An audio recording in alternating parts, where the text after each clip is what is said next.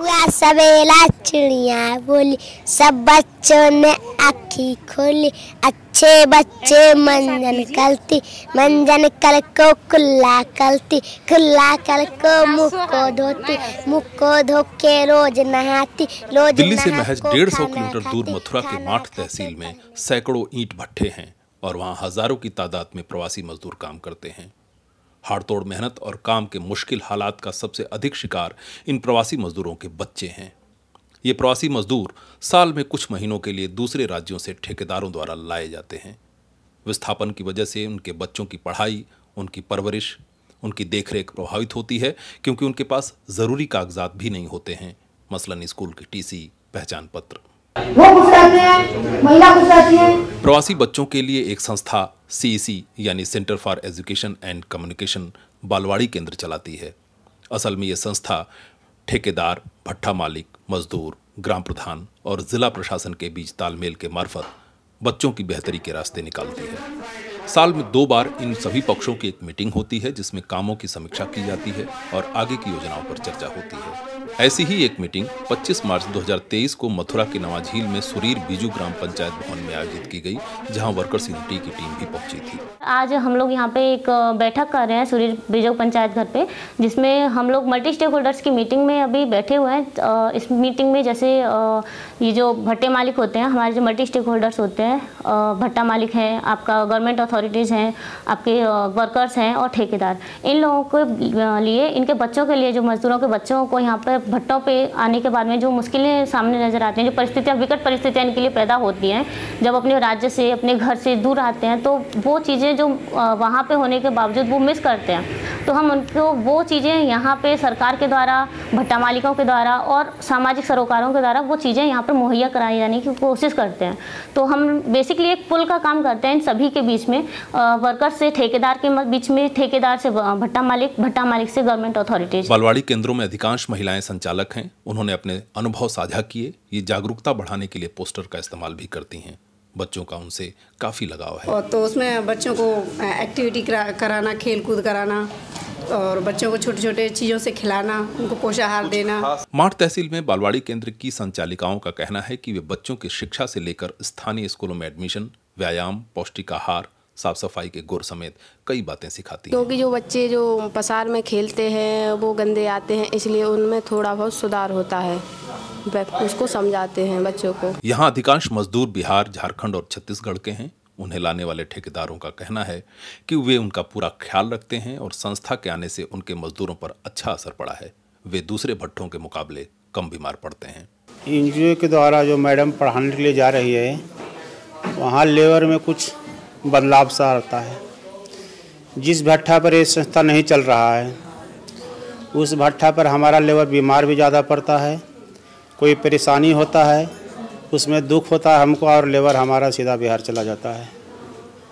हम चाहते हैं कि सभी भट्ठे पे ये जो संस्था चल रहा है वो चल जाए तो हमारा लेबर सुरक्षित रहे। सर मैं जैसे राजू भट्टे पे हूँ और मैं ठेकेदार भी हूँ लेबर हाँ। तो ऐसी कोई समस्या नहीं है जैसे कोई हम लोग एडवांस इन लोगों को देते हैं लेबर को। तो अगर उन लोगों को कोई समस्या है अगर जाना चाहते हैं तो मैं खुद उनको छोड़ छोड़वा देता हूँ मालिक से बात करके। मेरे ऊपर एक बड़ा ठेकेदार भी उनसे बात करता हूँ।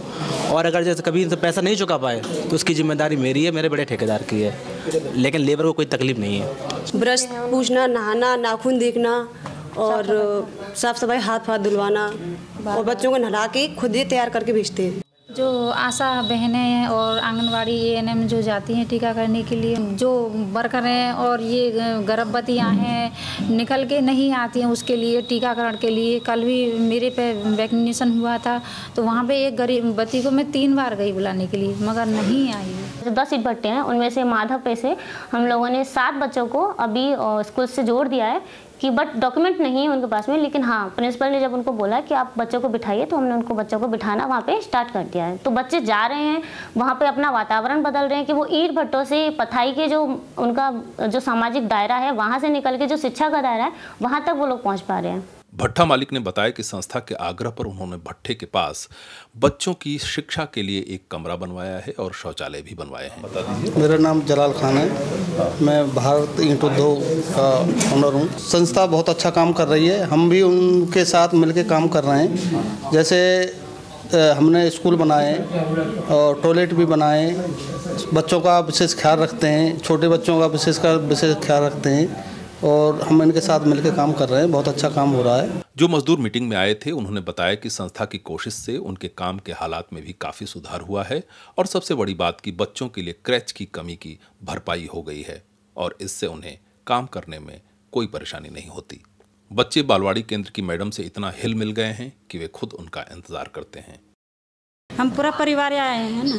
कितने लोग हैं परिवार ने लोग बारह बारह मेरा नाम है संगीता देवी। गया जिला से आए हैं हम। हम लोग पाँच परिवार है पाँचों भट्टे पर आए हैं। दो साल पाँच परिवार में कितने कितने लोग होंगे कुल? तीन लोग करते हैं काम। तीन लोग पथैया करते हैं। बाकी दो बच्चा है छोटा छोटा है नहीं करते हैं। मेरा सास ससुर गुजर गया तो बहुत महाजन हो गया इसलिए हम भट्टा पर। कि, कितना महाजन हो गया? महाजन हो गया था साठ सत्तर हज़ार ऐसे। उधर घर पे? नहीं। है? नहीं। आपका? मेरे भी नहीं। ऐसे खाता कमाता हूँ। ऐसे खाता कमाता हूँ। कुछ बचत बचत हुई? है। कुछ पैसा वैसा बचा? हाँ हाँ पहले से एडवांस ले लिए हैं। आ जाते हैं हम लोग कि बिहार में थोड़ा तकलीफ़ हो जाता है कमाने खाने के। तो इसी वजह से कमाने खाने आ जाते हैं अपना शौक से। उसमें निकला गांधी जी गांधी जी के गोली लगी, सारा दुनिया लोने लगी। मम्मी, पापा, तीन समस्या एक समस्या खत्ता, प्लीज़, पत हुआ सवेला चिड़िया बोली सब बच्चों ने आखी खोली। अच्छे बच्चे मंजन कलती मंजन कल को कुल्ला कलती कुल्ला कल को मुख को धोती मुख को धो के रोज नहाती रोज नहा को खाना खाती खाना खा के पढ़ने भट्टों पर काम करने वाले मजदूर समाज के सबसे अधिक गरीब और लाचार तबकों से आते हैं। तमाम सरकारी योजनाओं का इन्हें लाभ नहीं मिल पाता है। सीसी सरकार और इन मजदूरों के बीच कड़ी बनकर उस गैप को भरने की कोशिश कर रही है। नमस्कार मेरा नाम उत्तम है। आ, मैं सी संस्था में पिछले तीन साल वर्षों से काम कर रहा हूँ और ये संस्था दस ईट भट्टों पर बच्चों के अधिकारों के लिए महिलाओं के अधिकारों के लिए, मजदूरों के अधिकारों के लिए काम कर रही है। हर भट्टे पर भट्टा मालिक की सपोर्ट से और संस्था की सपोर्ट से हर भट्टे पर बालवाड़ी केंद्र बनाए हुए हैं और हर भट्टे पर बालवाड़ी केंद्र के अंदर हम तीस बच्चों को चयनित करते हैं, जिसमें हम बच्चों का मेज़रमेंट करते हैं, जैसे हाइट है, वेट है, उनका हर महीने मॉनिटरिंग करना होता है और संस्था की तरफ़ से हर बच्चे को पर डे के हिसाब से फ़ूड दिया जाता है, न्यूट्रिशन फ़ूड दिया जाता है। और इसके साथ साथ हम भट्टे की महिलाओं को, किशोरियों को बच्चों को स्कूलों से जोड़ना सरकारी हॉस्पिटल से जोड़ना, जो कमज़ोर बच्चे होते हैं, उनको हम एनआरसी वृंदावन से जोड़ना। तो संस्था ये प्रयास कर रही है बच्चों के अधिकारों के लिए, महिलाओं के अधिकारों के लिए, और पूरी तरह से वो लोग जो सरकारी सेवाओं से वंचित होते हैं वहाँ यहाँ पे आके, क्योंकि ज़्यादातर जो ईट भट्टों पर परिवार होते हैं, वो माइग्रेंट होते हैं। और माइग्रेंट होने की वजह से जो सुविधाएँ उनको वहाँ पे मिल रही होती हैं, वो यहाँ पे आके वो सुविधाओं से वंचित हो जाते हैं। इसीलिए यहाँ पे जो संस्था की तरफ़ से प्रयास किया जा रहा है कि उनको उन सेवाओं से जोड़ा जाए और उनको निरंतर ये सेवाएँ मिलती रहें। सी सी एज ए ब्रिज का काम करता है, और हमारा काम यही होता है कि उनको अगर ज़रूरत होती है स्वास्थ्य सेवाओं की तो हम स्वास्थ्य सेवाओं से जोड़ना, ग्राम पंचायत से जो भी सेवाएँ मिल पाती हैं सेक्रेटरी साहब से प्रधान साहब से मिलकर उन सेवाओं को दिलवाना जो ब्लॉक एजुकेशन ऑफिसर होते हैं बीएसए होते हैं, उनके साथ मीटिंग करके बच्चों को ईंट भट्टों से स्कूलों में एडमिट करवाना, ये हमारा काम होता है। यही हमारी कोशिश है कि जो ईंट भट्टे के नज़दीक गाँव हैं, उन बच्चों को वहाँ के आईसीडीएस जो जो आंगनवाड़ी केंद्र है, उनसे जोड़ा जाए। लेकिन अभी वो सेवाएँ नहीं हो पा रही हैं। हमारा प्रयास है कि उनको जोड़ा जाए। जो फैमिली के साथ बच्चे माइग्रेंट करते हैं परिवार के साथ जब भट्टे पे आते हैं तो उनकी चार महीने वहाँ पे पढ़ते हैं। उसके बाद फिर यहाँ पे आ जाते हैं। तो अगर हम विद्यालय में बच्चों के एडमिट के लिए बोलते हैं तो प्रिंसिपल भी बोलता है कि वहाँ की टीसी चाहिए।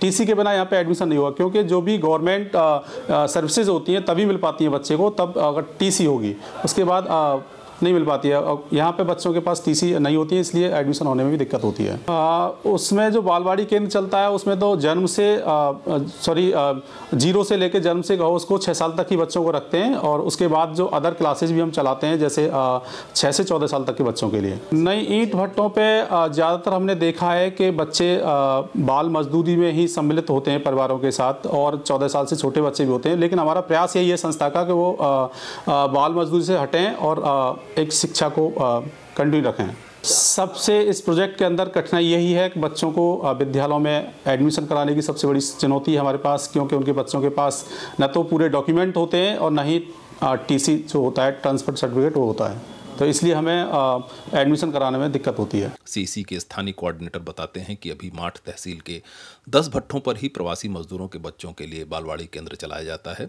और बाकी भट्टों पर भी इसे शुरू करने की कोशिश जारी है। इन बच्चों के लिए एक व्यापक और संवेदनशील सरकारी नीति की ज़रूरत है, जिसकी कोशिश समाज के हर वर्ग की ओर से होनी चाहिए।